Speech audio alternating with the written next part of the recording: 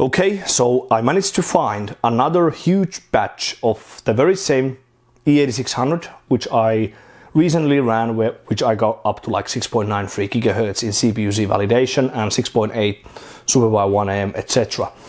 I already pre-checked all of those CPUs very briefly on water. There are a few that can do like 4.5 PiFast at 1.2 volts or under, 5 gigahertz at 1.35 volts and some even below that. So the question mark is always the uh, temperature scaling. Can the CPU scale very well from the cold temperatures? What is the maximum temperature on LN2 where the CPU can actually run and so on. So we are already looking for like close to 6.8 and higher gigahertz frequency in PiFast and other tests. So that boundary is already extremely high. So this would be like almost nonsense if we talked this kind of frequencies back in 2008 when the top frequency was somewhere between 6.65 and 6.7. But yeah, so uh, let's see what happens. I already tested one CPU, but it sucked. It had a sweet spot temperature at 120 and it could only run frequency between 6.5 and 6.55.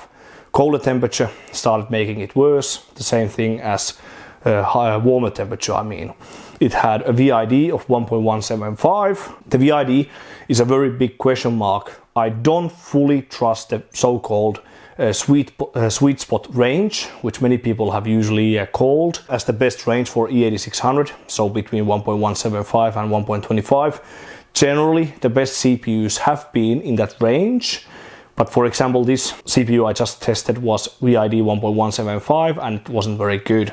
So uh, yeah, it's very hard to say what's the real and honest answer to the VID question. But anyways, that's uh, how it has been. Most of the CPUs, or nearly all of them, that have had a VID of like 1.15 or even lower, 1.12, they have generally been very warm CPUs on water cooling in tests like W prime, PiFast, etc. But they just they just cannot scale well from the cold temperatures, or that has been the case usually for the most part. But I think there are some uh, exceptions in existence, so very hard to say.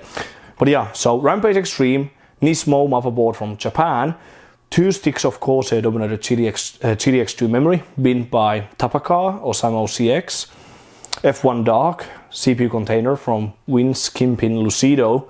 Yes, this CPU board definitely needs the tapping mode because the initial pull down is extremely slow and actually the response to LN2 pouring during test could be a bit better as well because even E8600 can actually output pretty decent heat load on the CPU container when it's running at 2 volts at very high frequency. NVIDIA 6500 GT just to display the monitor signal and Superflower Leadex 8 pack 2000 watt uh, Leadex power supply. So uh, yeah, let's hope for the best. Let's see what happens. So uh, I'll start straight away in Windows XP once again and if this CPU is good I will get back to you with the capture card in the operating system.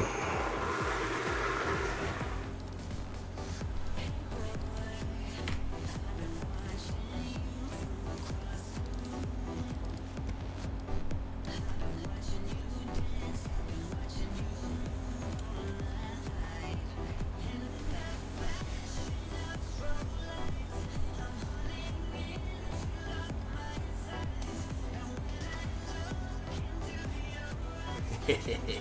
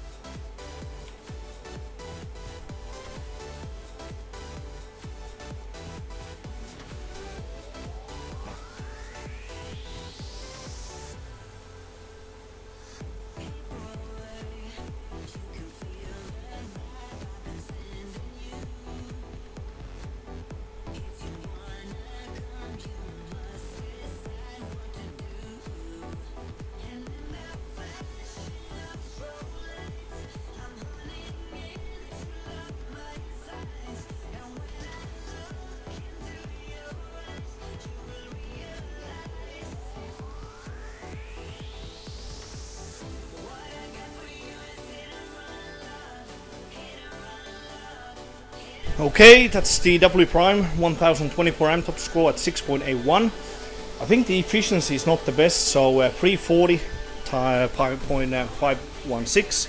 So that's like a bit over 4 second improvement on my previous uh, top score, which was made at like uh, 6.73. So don't know, but it doesn't seem uh, the efficiency doesn't seem to be the best, but it's still somewhat okay. And well, it's pretty cool to run uh, WPrime 1024 amp above 6.8.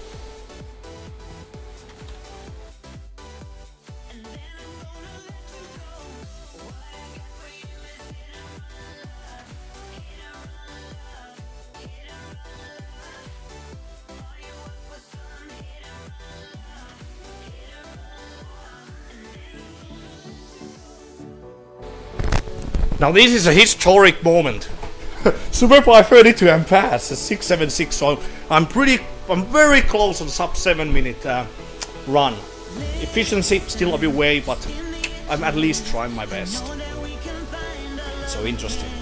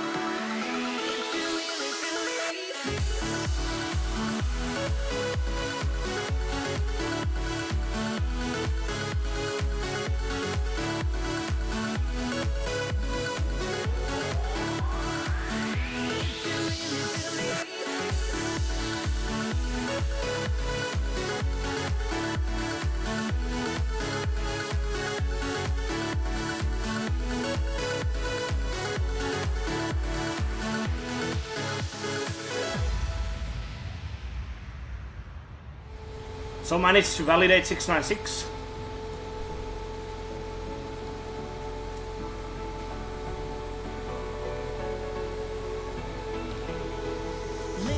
Okay.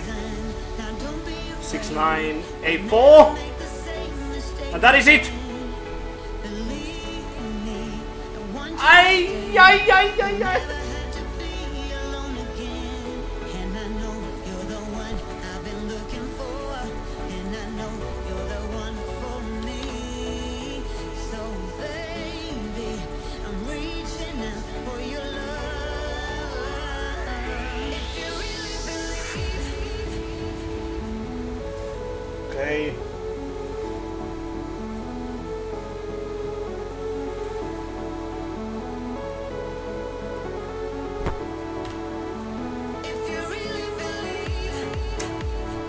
At least an E7 gigahertz.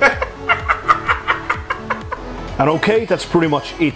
Absolutely insane E8600. I tested a few of these CPUs and this one seems to be the best, although even this one is very flaky. At first I struggled with uh, like WPrime at 6.85 to 6.9. Uh, I managed to run 6.81 and I and almost 6.82 like constantly. I passed 6.85 uh, twice and I got a score of 337 seconds or so.